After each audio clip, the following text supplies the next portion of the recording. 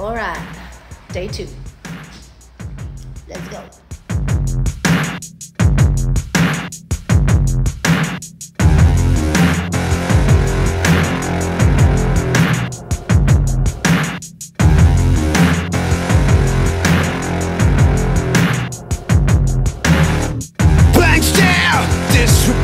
There's a big black hole gonna eat me up someday.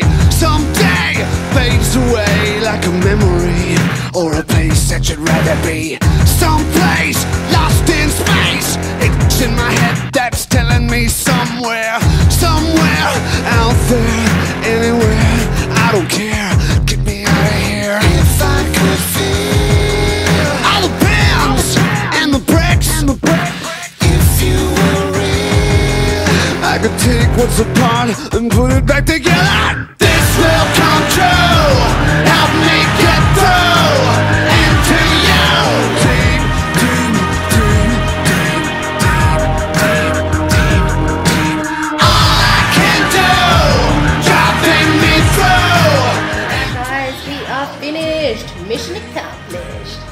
I'm so happy with how it turned out.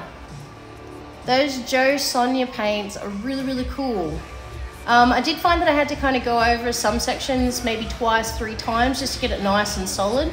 But I think because we went with that cream base to start with, um, I think that really helped to do a nice prime for the colors to really stand out. So really happy. Um, it's not too far off from the digital artwork I had made up too. So I'm so happy. I'm pumped. I'm tired. anyway, I'm going home to relax for two seconds so I can start drawing this week's tattoo work. So I hope you enjoyed and we will see you for the next side.